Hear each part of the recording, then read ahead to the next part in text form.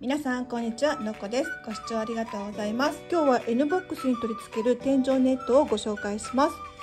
このネットは車内をもっと便利にそして快適に使うためのアイテムです。それでは早速見ていきましょう。しっかりとした取り付けで走行中でも安心です。そしてこのネットの最大の特徴はティッシュボックスホルダーです。ネットのファスナーからティッシュボックスを収納しどの席からでも取り出し口からティッシュを取り出すことができます。これは運転中でも後部座席でもいつでもティッシュが使えるという素晴らしいポイントです。前席後席のどちらからでもティッシュを取り出せるようになっています。またネット内にベルトを配置することでネットが垂れ下がりにくくなっています。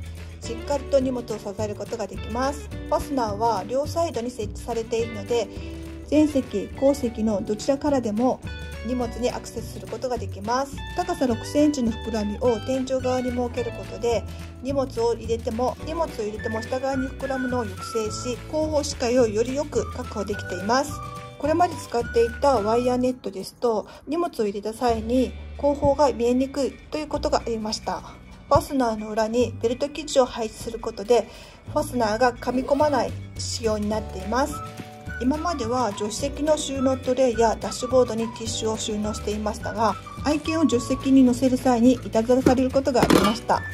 この天井収納ネットを使えば愛犬が乗っていても安心してティッシュを取り出すことができます。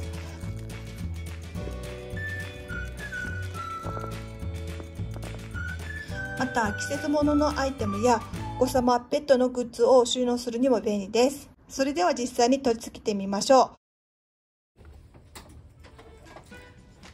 まずはアシストグリップにベルトを通ししっかりと固定します。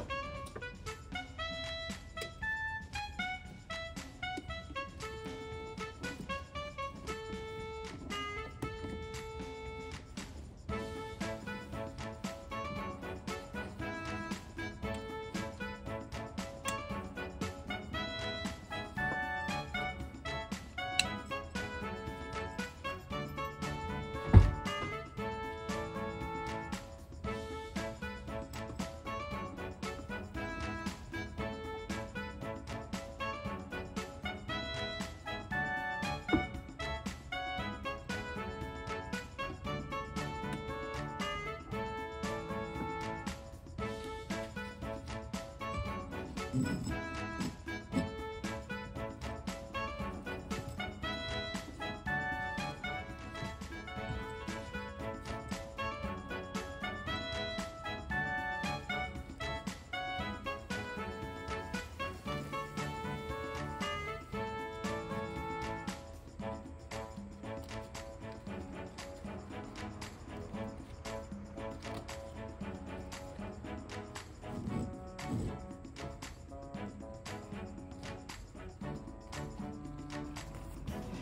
次にティッシュボックスをネットに収納しファスナーを閉めます。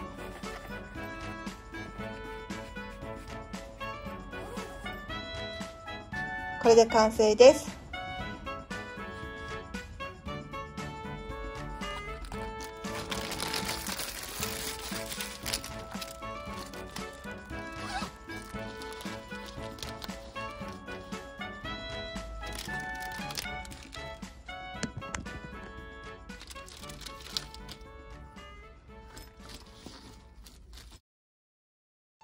さらにこの天井収納ネットは季節物のアイテムを収納するのにも非常に便利です。例えば夏には日よけグッズや扇風機、冬にはブランケットや手袋など季節ごとに必要なものを手軽に収納しておけます。これで車内が常に整頓され必要なものをすぐに取り出すことができます。いかがでしたでしょうか？天井収納ネットで車内をもっと快適にすることができました。今回も最後までご視聴いただきましてありがとうございました。もしこの動画が役に立ったと思っていただけましたらグッドボタンとチャンネル登録コメントもお待ちしておりますそれではまた次回の動画でお会いしましょう See you!